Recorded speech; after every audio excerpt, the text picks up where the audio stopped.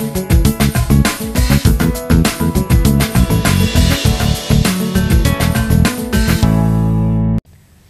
నటులు మోహన్ బాబు గొర్ల కాపర్లపై చేసిన వ్యాఖ్యలు దుమారాన్ని రేపుతున్నాయి. గొర్ల కాపర్లను కించపరిచే విధంగా మాట్లాడారని ఆరోపిస్తూ కరీంనగర్ జిల్లాలోని పలు పోలీస్ స్టేషన్లో ఫిర్యాదు చేశారు.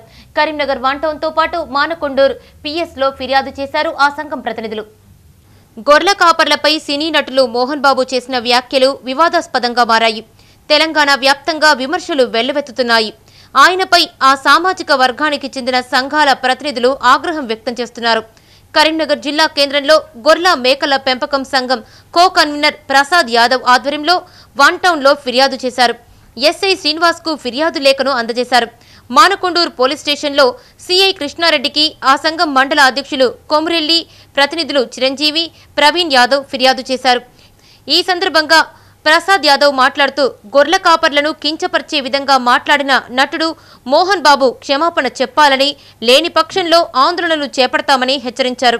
మా విషయంలో మా ఎలక్షన్ విషయంలో ఏంటి ఘర్షణలు ఏంటి గొడవలు విద్యావంతులు చూస్తున్నారు అలాగే గొర్రెల కాపర్లు కూడా వాళ్ళ చేతుల్లో ఫోన్లలో చూస్తున్నారు అని వ్యాఖ్యానించిన మోహన్ బాబు గారు విద్యావంతులతో పాటు గొర్రెల కాపర్లు కూడా చూస్తున్నారని మా గొర్రెల కాపర్లను కించపరిచిన గొర్రెల కాపర్లు ఫోన్లు వాడకూడదా? గొర్రెల కాపర్లు చూస్తేనే వాళ్ళ పరుగుపోతుందా?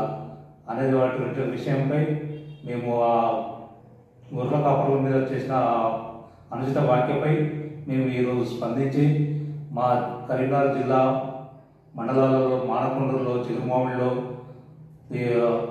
వీరిపై పిటిషన్ ఇవ్వడం జరిగింది పోలీస్ స్టేషన్లో మా జిఎంపిఎస్ సంఘం ఆధ్వర్యంలో.